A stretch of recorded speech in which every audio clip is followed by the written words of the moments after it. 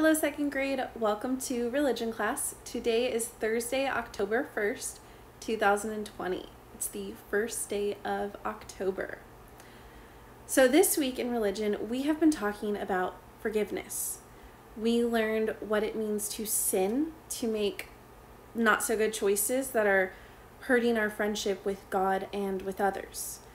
We learned that each of us have a conscience, that little voice inside of us that helps us decide between right and wrong and to make good choices. Today, we are going to continue talking about forgiveness. So, let us begin our religion class with prayer.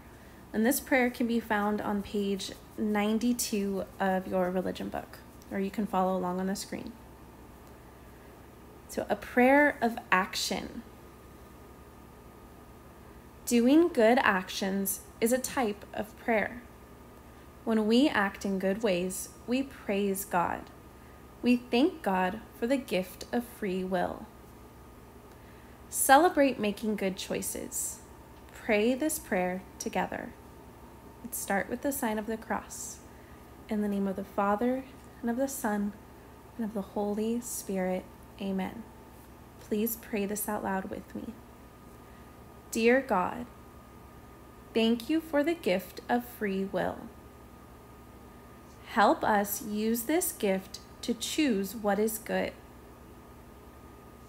Help us to blank. Think of your own action and say it out loud or pray it in your head and your heart. Help us to So help us to be kind and loving to others. Amen. In the name of the Father, and of the Son, and of the Holy Spirit. Amen. Right now, please think of someone you know who makes good choices. Think of someone who makes good choices, choices that help other people. Why do you think this person decides to make good choices? Maybe because the person loves God and Jesus, because the person loves other people. Maybe because the good choices have good consequences, which means good things that happen when those good choices are made. Or maybe because it feels good to help other people. Today we are going to read and learn about a saint who made good choices. So please open your Blessed Are We textbook to page 90. So this is on page 90. So this person, shown right here, is Saint Paula Frassinetti, and she is a person who is now a saint who made good choices. What can you tell about St. Paula just by looking at the picture? We can tell that she lived a long time ago based on the clothing. And we can also tell that she was a religious sister because the outfit that she's wearing, she was a nun. So let's read to learn more about her. Saint Paula Frassinetti Paula was born in Italy in 1809. When she was nine years old, her mother died. Paula had to help Paula had to help take care of her four brothers. She could have gotten angry and been mean to them, but she loved them. She took good care of them.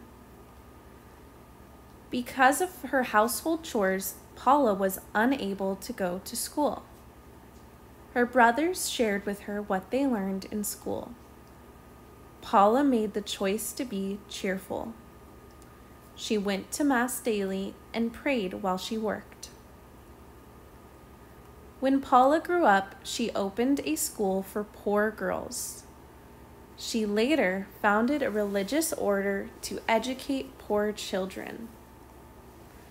Today, we honor her as Saint Paula. Her feast day, the day we celebrate her, is June 11th. What good choices did St. Paula make? Take your pencil or a crayon and circle or highlight some good choices that she made. So you can pause the video to find those. One good choice was that she helped take care of her four brothers and she loved them. She also made the choice to be cheerful and happy about her life. She made the choice to go to Mass and to pray. And she opened a school for poor girls.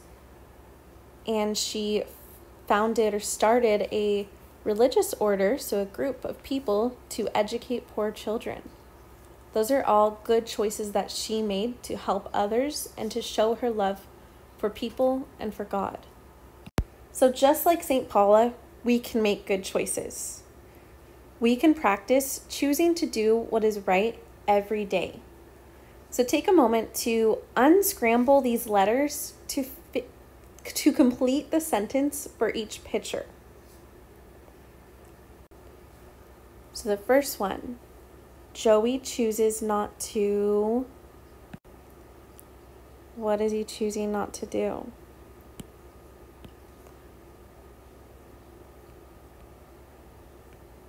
not to fight.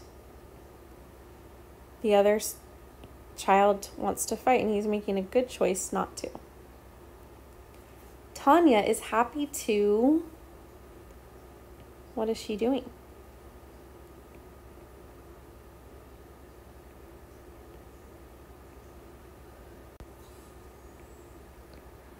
Tanya's happy to share.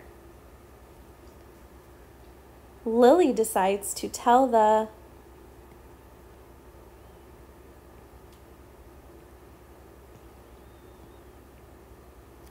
truth.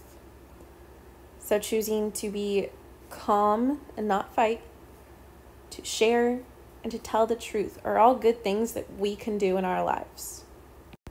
We're going to do the first page of the chapter review together to go over this vocabulary that we've learned about forgiveness. So we can circle the words that best complete the sentences. Number one, God gives us a blank to help us know right from wrong. Conscience, free choice, sin. He gives us a conscience to help us know right from wrong. Number two, when we do hurtful things on purpose, we forgive, love, or sin. This is when we sin. Number three, God lets us choose what to do. We call this conscience, free will, or sin. This is called free will. We can choose what to do. Number four, God wants us to be blank for our sins angry, happy, sorry. He wants us to be sorry for our sins, to ask forgiveness, and to make better choices. Thank you for learning with me this week about forgiveness. Um, there's a special sacrament that some of you will be receiving this year. If you aren't, you are still learning about it, and maybe in the future, your family might decide it's the right choice for you. Um, this sacrament is right there. It is called reconciliation. Go ahead and say that out loud at home. Reconciliation. This sacrament is when we talk to a priest and God and ask forgiveness for our sins, for those things that we have purposefully done wrong. So that is why we are learning about forgiveness and why we'll, we will continue to learn about forgiveness in the coming weeks. So thank you, second grade. Um, tomorrow we will be learning a new prayer of forgiveness during our Zoom meeting. So look forward to that. Bye.